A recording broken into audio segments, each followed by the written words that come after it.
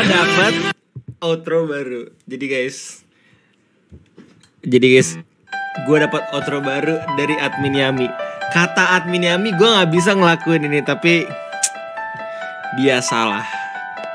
Terima kasih banyak karena nonton live stream